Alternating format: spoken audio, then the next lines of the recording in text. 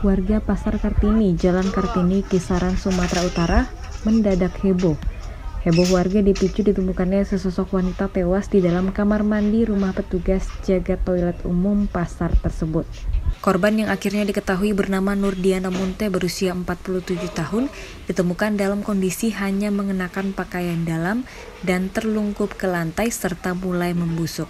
Petugas Polres Asahan yang turun ke lokasi langsung melakukan olah TKP dan mengevakuasi jasad korban.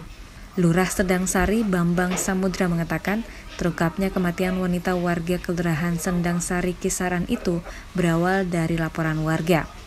Warga curiga karena sudah empat hari tidak melihat korban melakukan aktivitas sebagai penjaga toilet umum pasar tersebut dan mencium bau tak sedap dari dalam rumah yang sekaligus menjadi tempat tinggalnya.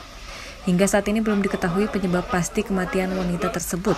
Untuk kepentingan visum, jasad wanita itu selanjutnya dibawa ke Rumah Sakit Umum Daerah Haji Abdul Manan Simatupang Kisaran.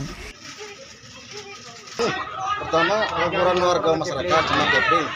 Kepling melakukan laporannya kan. Ada mayat di Pajagan ini di, di rumah WC umum. Ah. Jenis kelamin mayat ini apa nih, Bu? Ya bang, Perempuan jenis kelaminnya jenis kelamin. perempuan perempuan.